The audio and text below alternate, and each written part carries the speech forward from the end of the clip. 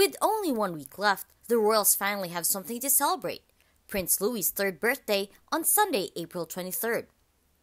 And Prince William and Kate Middleton want to make the milestone one to remember. An insider says plans are in motion to make Louis's birthday a festive affair. A sweet soiree is said to be small and intimate, gathering at Buckingham Palace, with Louis's siblings, Prince George and Princess Charlotte, on hand along with a few of his cousins, aunts, and uncles. The royal couple is planning to treat guests to pony rides, a puppet show, and a bubble blowing contest, noting, It will be a very special day. Louis is known to be quite the charmer. By all accounts, he's a sociable little fellow and fearless too, says the insider. His curiosity knows no bounds. He's also the mama's boy of the family. From the moment he was born, Kate's heart melted, the insider reveals, adding that the tot also has a close bond with his dad. They play soccer and watch games on TV. Louis really gets into it.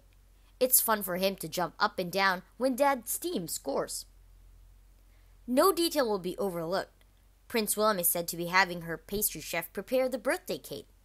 Word is, it will be decorated with marzipan zoo animals, shares the insider. Louis loves anything to do with nature. The king also makes sure there will be no shortage of gifts. Her birthday treat for Louis will be no exception.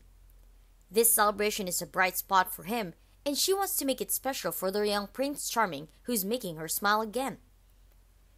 As the youngest, he's often the center of attention, occasionally to big sister Charlotte's charge. Of course, she adores Louis, but she also loves being in the spotlight.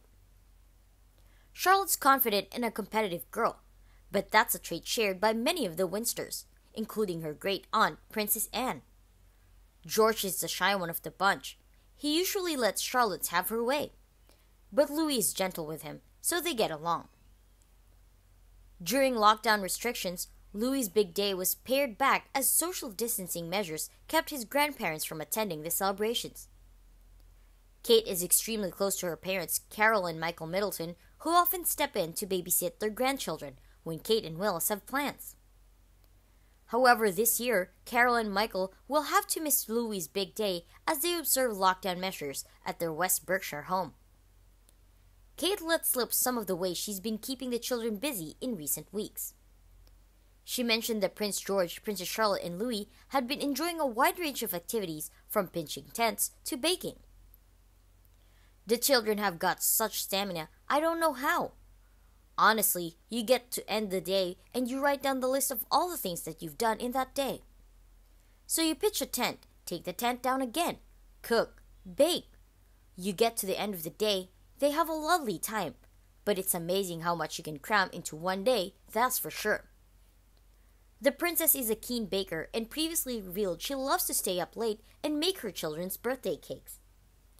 Speaking to TV chef Mary Berry for a special BBC program at Christmas, Kate revealed, I love making the cake. It's become a bit of a tradition that I sort of stay up until midnight with ridiculous amounts of cake mix and icing. I make far too much, but I love it. The Prince and Princess of Wales' youngest son also captured on camera playing on the sand in Norfolk by his proud mother Kate during the Easter holidays. With a broad grin on his face and bearing a striking resemblance to both his father, Prince William, and his grandfather, Michael Middleton, Louis appears to have inherited his parents' love of sports, preparing for a barefoot sprint across the sand in one image and brandishing a cricket ball in two others.